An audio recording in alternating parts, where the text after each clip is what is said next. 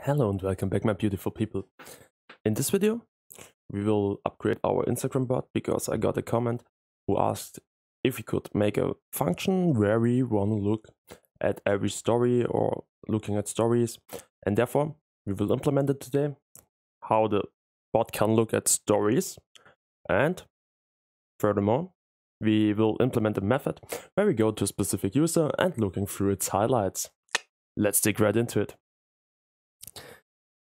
First of all, we want to change the way we're using our username and password because already uh, right now we hard coded it in here to get the username and the password in here. But maybe you want to upload your files to your own Git repository and don't want anyone to see your username and password hard coded in there. Yeah, therefore we make a new file, a new Python file which we call secrets. This file won't get uploaded to, uh, to your GitHub if you upload it there. And there we can simply make a username, make it caps lock to see that it's from there, and the password.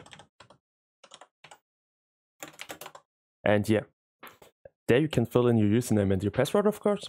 And then in your normal file, we can simply go here from secrets, we import our username and of course our password. And then underneath here where we normally hard coded it in, we can simply use the username and here the password. Yeah, like this. So make sure to fill in your username and your password in here and then your password is a bit safer than before. And after you used it, try your bot once to check the login. If it's working correctly, then it's fine. Otherwise, you maybe had a typo in your username or your password. Yeah, but it definitely should work like this. Then, first, we want to go and make a function for our story watching. Therefore, we make def watch underscore story, stories. There we have a self, of course, and how long it should watch, like a watch time. Then firstly, we make a pass in here to can start our bot and see uh, what we want to access in the first way. So we start our bot. And now we are in here at your starting page because we had in the closed pop-up, we directly guided to our starting page. And then story watching is pretty simple. We go right click on your site, inspect as always, take this element uh, selector, then we click on the first image, and there, yeah, we have a glass. Press Ctrl F, and we see we have 33 matches. And these are all of your stories. So we can simply use this glass and make in here, go rid of, get rid of this, make stories, is equal to self dot. We had multiple ones, so we wait for objects by CSS selector because we have a class in here which we can simply access and put this class in here like this. And we want to click the first one because you always start with the first one, then you wait, and it by itself goes through all the stories. Then, as we have a watch time in here, we make a time.sleep of the watch time you included in here. Therefore, it will wait until the watch time is over and then it should do something. But first, let's have a look what's happening if we put it in here. Then we make bot.watch stories and I make for 20 seconds. Make sure the watch time is always in seconds because the time to sleep is always passed in seconds in there. Then I will close it and restart it once more and we are currently then seeing what is happening. And now we are on the starting page. Then it clicks on the first story. Oh, my own story. yeah. And then it automatically plays the stories on and on. And afterwards, it should click, after your watch time, it should click on this escape button.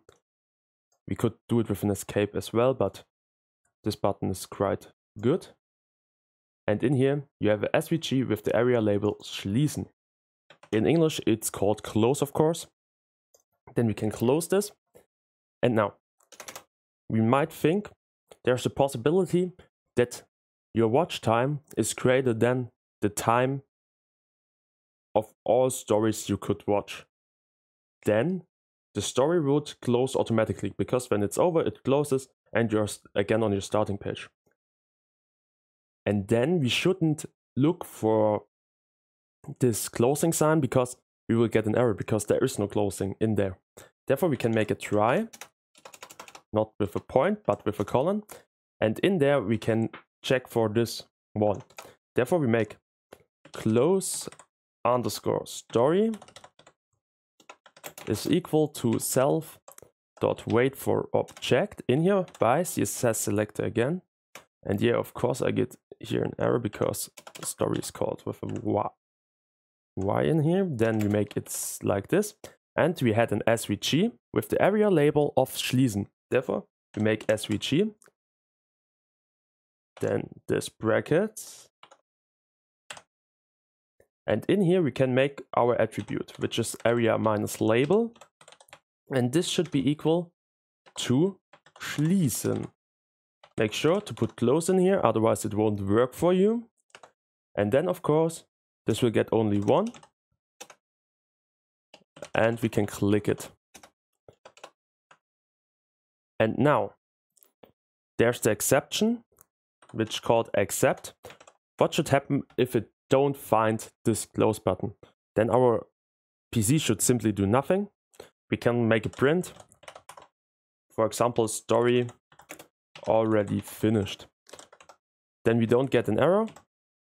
It simply print us in the console, oh, the story is already over. So we can't close it, but it's already closed automatically.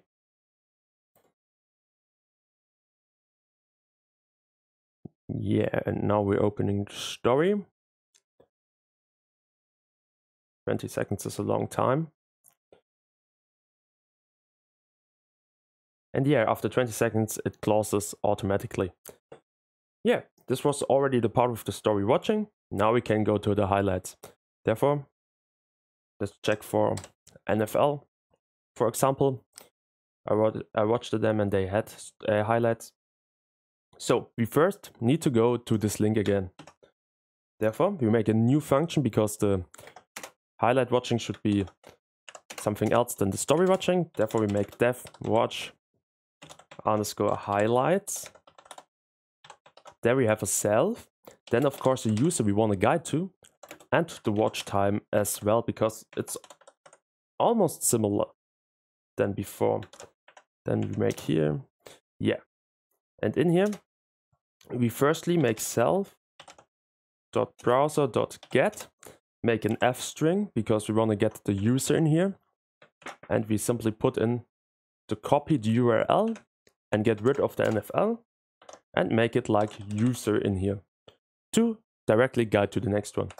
And as we're always knowing, we go to a new website. So we're refreshing our browser, we make a time.sleep in here. To avoid some timeout errors. Then, if we go in here, we check how we can access this one always the same way. And there's a class, find this class. And yeah, man, this time Instagram is with us. And we're seeing the glasses are for all your highlights. So we copy the glass. We can close this right now. Make a highlights is equal to self dot wait for objects because we had multiple ones this time. And we simply access the class make a point before, put the class in here. And yeah, then we want to click the first one, of course. Highlights at position zero dot click. And then we want to time dot sleep of the time of our watch time. Simple as that. And if the watch time is over, we want to close the story again.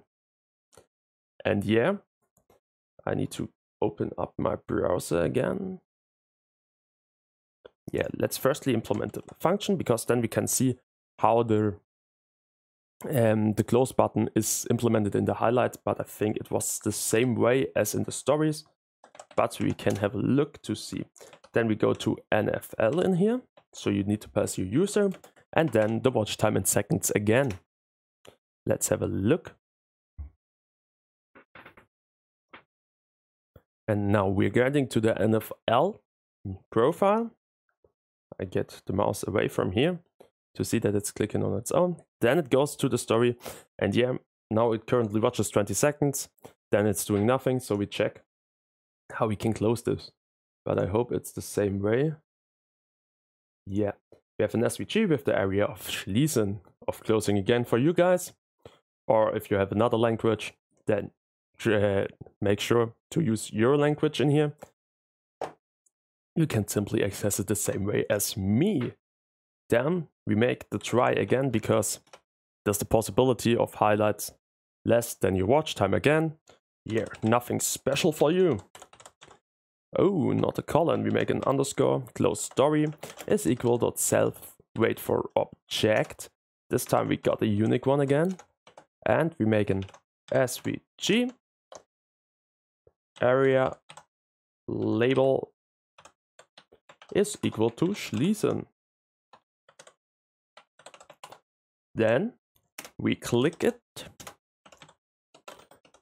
click, and of course in the exception, this time we write that the highlight is already over, so we automatically know in which function and in which method your bot is currently working. Highlight already finished. And as of this, this implementation is also finished. Now we check simply if it's working. And if it's working, you are ready to hit some stories. So now it's right redirected to the NFL. Then it's opening the story highlights. Now we're waiting for 20 seconds. And after 20 seconds, it closes automatically. Not gonna lie, this is working fantastically. And yeah, ooh, I'm excited for the Super Bowl this year. Hope you liked the video, subscribe to my channel, and comment for more ideas you have because your ideas are great, guys. I want to implement all of your ideas. Hopefully, you leave me some. And hopefully, I see you next time again. Thank you for your attention.